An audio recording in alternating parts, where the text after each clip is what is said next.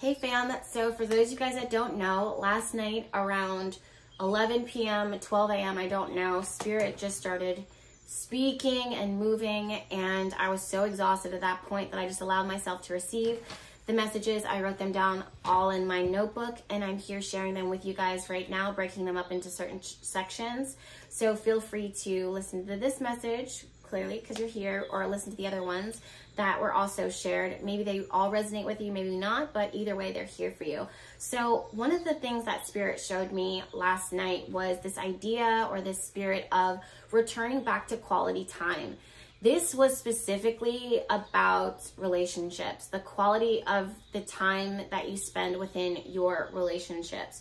Now, I wrote down, I can't tell if this is with God, yourself, your partner, but it feels very, very valuable and precious, and you are to not neglect this relationship.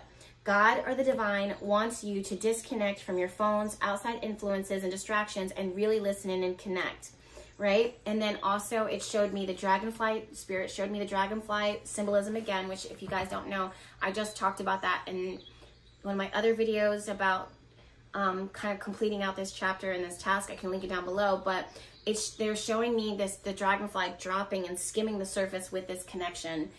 So dragonflies as an animal totem and, and dragonflies in the spiritual realm are not something that are bad or good. It just is what it is. But spirit is showing me the problem in the dragonfly kind of touching in and touching out and going in and out of the relationship or going in and out.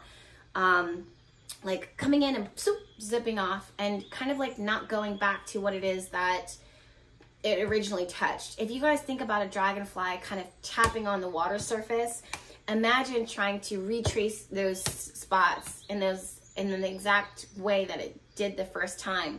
So spirit is showing me that that has become a problem or they don't want it to advance into a problem, especially when it comes to your relationships. Now, as I said, I can't tell if this is if spirit is referring to your relationship with God or your relationship with your higher self or the divine, um, which would make sense, or if this is your relationship with yourself or your relationship with an actual partner. But either way, whatever this is, and apply it how it resonates and apply it to your life if it fits. Use your discernment. But it's this coming in and going out type of energy that is ca- causing a problem because it's starting to make faulty connection and it's starting to push out intimacy, deeper intimacy within the fi- the very fiber of this relationship. Now, this feels like a very quick fix, but um, which which means that all you'd have to do is just literally put your phone away, speak, like speak to your partner, speak to the divine, and have it uninterrupted. Or don't start your day with the first thing that you do is looking on your phone, or before you kiss your partner, or greet the divine and thank spirit for your life, the breath that you're taking at the first thing that you, or let's say you're having um, you haven't seen your friends in forever, call them, have a conversation, family. There's people that are being neglected. There's something about the value, this the sheer the sheer volume and value of your most intimate relationships, and it's like one in particular. You'll know because it'll be the first thing that comes into your mind and your spirit. Um, it could also be the quality time that you take for yourself. For some of you guys, you've been so lately, you've been on this rat race, so you might be like eating on the go and eating on the run and not really taking the time out to just kind of be with yourself and it's starting to break away at the very fiber of your relationship and how you feel about yourself and how how you feel about the world because you're just rushing through this connection you're rushing through this moment and spirit says this this these this is a very very very very valuable this is if it's not very very valuable to you and you're not showing it it's very very valuable to spirit the divine and they want you to see and to know that this is something that we do not want to see break down. So take the time out to really return back to quality time. It doesn't have to be anything loud or obnoxious. You don't have to book a trip to the opposite side of the world in order for you to connect with God or to connect with yourself or to connect with your partner. If you want to, do it.